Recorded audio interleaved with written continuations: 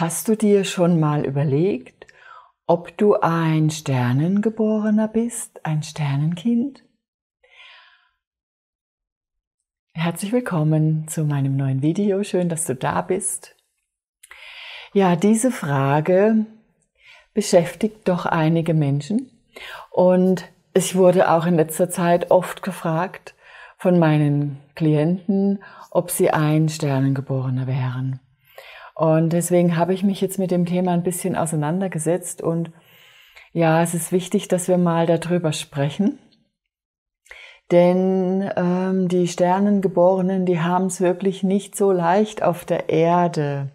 Das heißt, mh, mm, sie sind oft traurig, sie möchten gar nicht auf der Erde sein und sie sind lieber, ich sag mal, auf den Sternen. Und sie fühlen sich auch nicht so zugehörig hier auf der Erde. Also ihnen ist das alles zu viel, was hier so geschieht und sind auch oft traurig. Ja, und wenn du jetzt in dir fühlst, dass du auch, dass du in Resonanz gehst mit dem, was ich jetzt hier sage, dann könnte es sein, dass du auch ein Sternengeborener bist.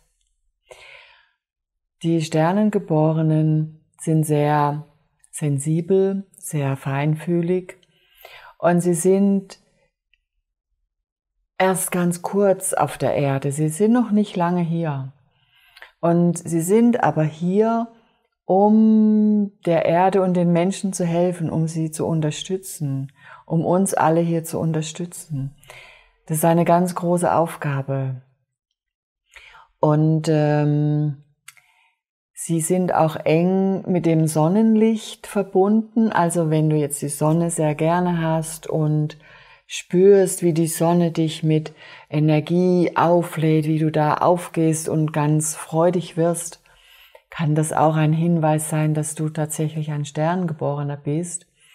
Und wenn du dann noch helle Augen hast, dann kommen wir immer näher dazu, dass man sagen könnte, ja, Wahrscheinlich bist du auch so jemand. Also die hellen Augen, das hängt mit der Sonne zusammen, mit der Lichtaufnahme, weil die Sternengeborenen, die brauchen einfach Licht, ganz viel Sonnenlicht und die sind dann jetzt in der dunkleren Jahreszeit, ja, haben es schwer, die sind also da auch so ein bisschen ähm, extra noch trauriger.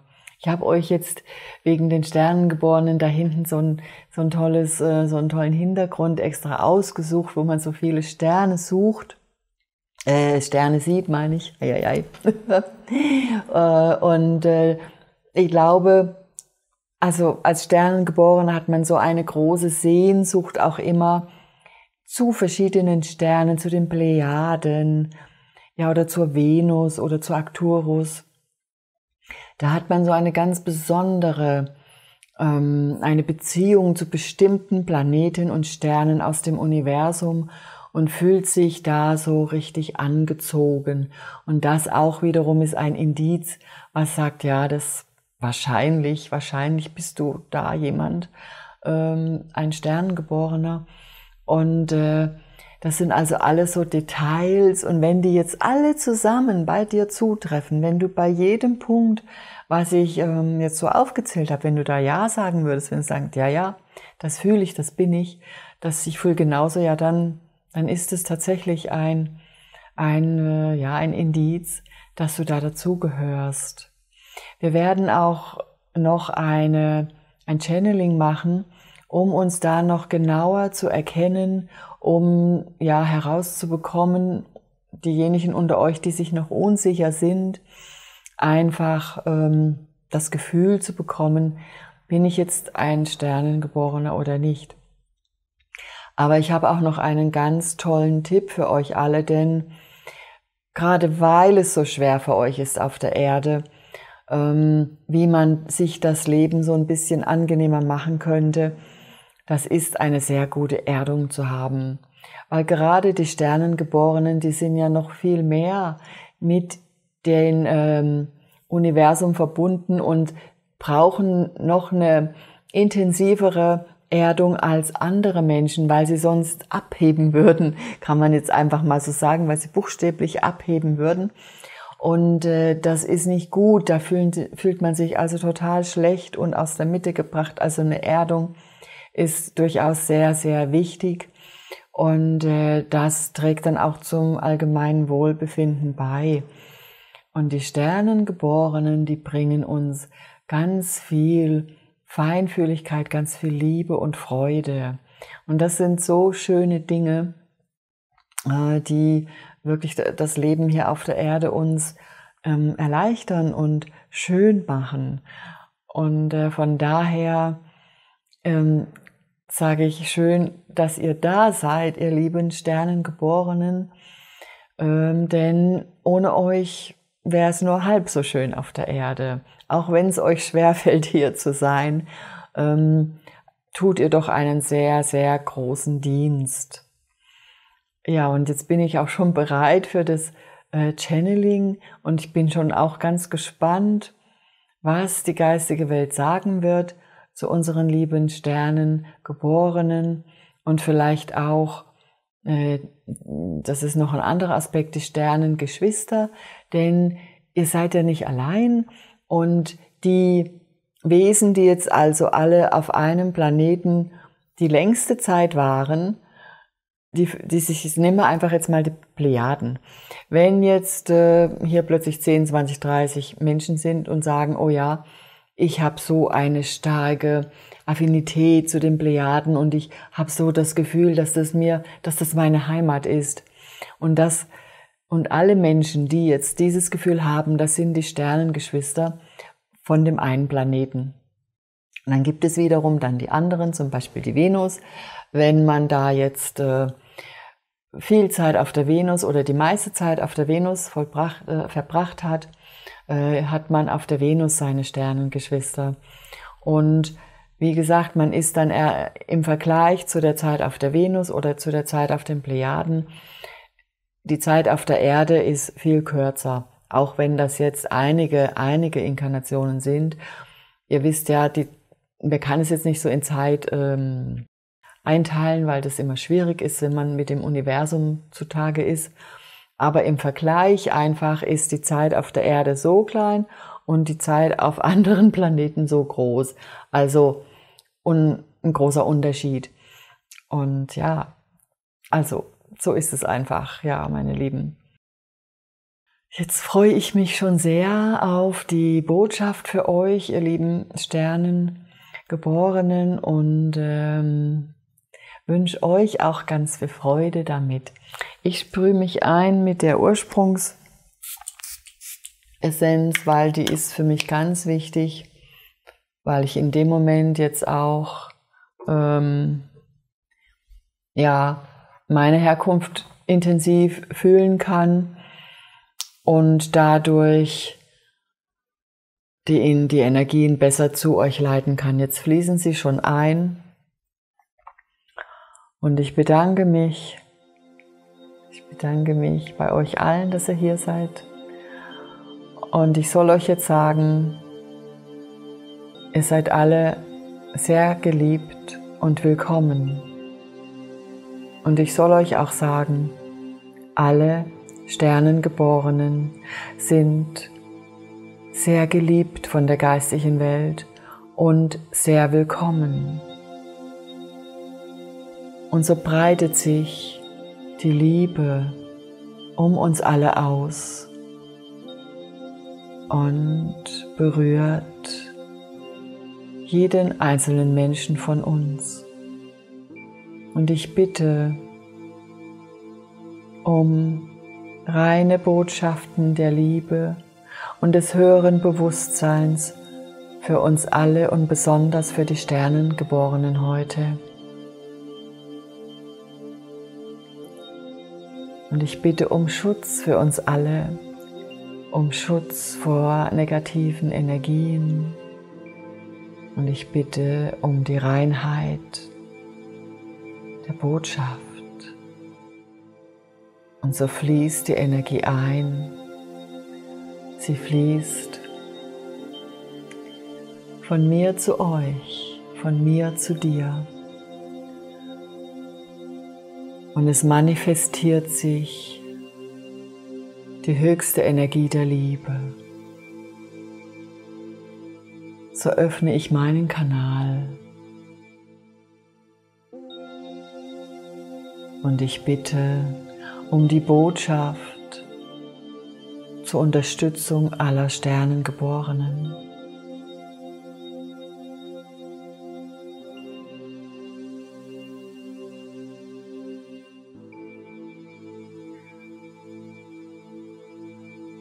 Mit den Worten der unendlichen Liebe spreche ich zu dir. Ich bin Lumina, Lumina der goldene Engel. Und ich überreiche dir meine Liebe und mein Vertrauen.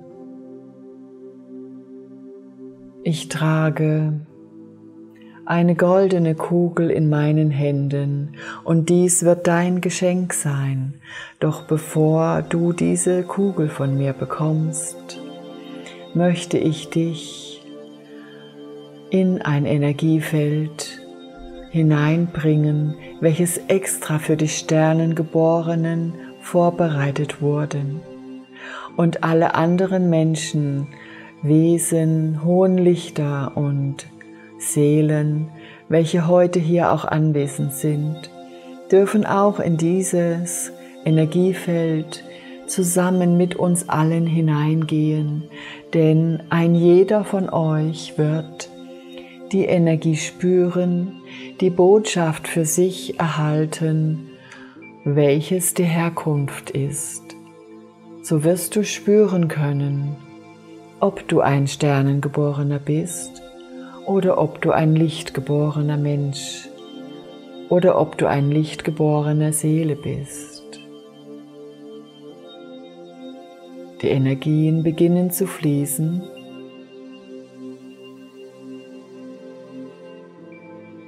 Und ein großes Feld der Erinnerung wird jetzt für dich erschaffen ein riesengroßes Feld. Es liegt vor dir und es sieht aus wie viele kleine weiße Wolken, weich und sanft, auf denen du laufen kannst oder wo du dich einfach draufsetzen kannst oder hinlegen kannst, ganz wie du willst. Nehme Kontakt mit diesen kleinen, schönen, weichen Wolken auf. Es ist wie ein großer Teppich von Wolken, der vor dir liegt und du bist eingeladen, dort Platz zu nehmen, so wie es für dich gemütlich ist. Und nun beginnen die Energien zu schwingen. Sie beginnen dein Geschenk zu kreieren, eine goldene Kugel der Erinnerung. Diese goldene Kugel der Erinnerung überreiche ich jetzt jedem einzelnen von euch. Diese goldene Kugel der Erinnerung wird dir helfen, Klarheit zu bekommen, Klarheit über deine Herkunft, über den Planeten, zu welchem du am meisten verbunden bist. Klarheit geben über deine Herkunft, ob du zu den Smarana-Feldern der vollkommenen Liebe gehörst oder eher als Sternengeborene hier auf der Erde bist. So nehme diese Kugel in Empfang Lasse sie in deinen Händen schweben, spüre diese Energie und ziehe sie in dein Herz hinein. Und jetzt gebe ich dir ein wenig Zeit, denn die Kugel, die Energie wird sich mit dir verbinden und alle Bilder, welche du jetzt empfängst, entsprechen der Wirklichkeit, deiner persönlichen Wahrheit. Und ich wünsche dir ganz viel Freude beim Genießen der Energien.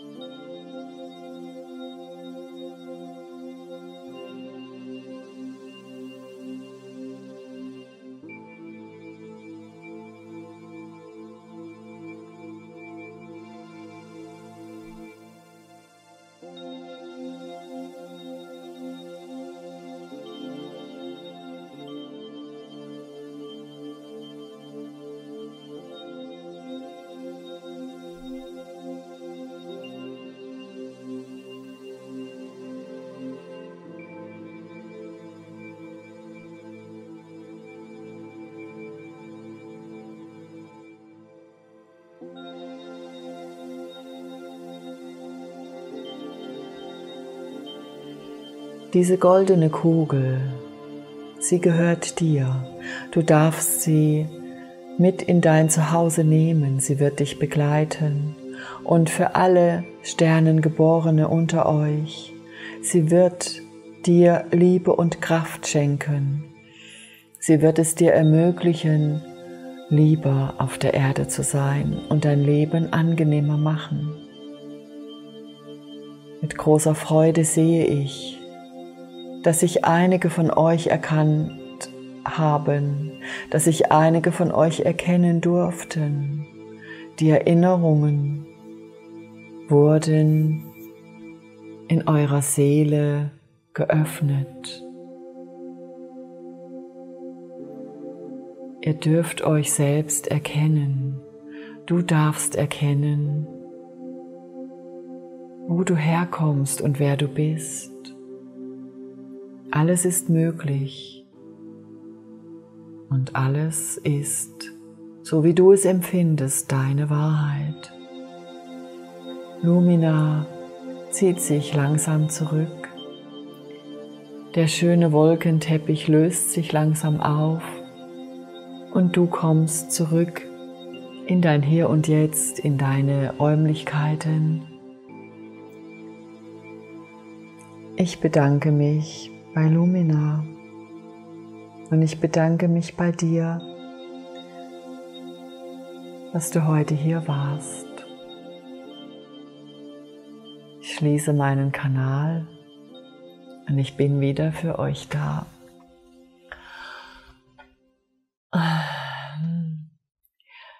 Ich soll euch noch was sagen. Und zwar ist es so, dass ja, es war der geistigen Welt ganz wichtig, dass ich das sage. Ich versuche es zu erklären. Hm, nachdem die Grundsubstanz der Seele entstanden ist oder von den Engeln kreiert wurde, wurde diese Grundsubstanz ja auch schon auf verschiedene Planeten geschickt, um Energien aufzunehmen. Das ist was anderes. Das gehört zum Entstehungsprozess dazu. Jetzt kann es sein, dass der eine oder der andere von diesen Entstehungsprozessbilder erhalten hat. Ein Sternengeborener geht nicht sofort auf die Erde wie die anderen, sondern er geht erstmal auf verschiedene Sterne und auf einem besonders lang. Das heißt jetzt, wenn du während der Energieübertragung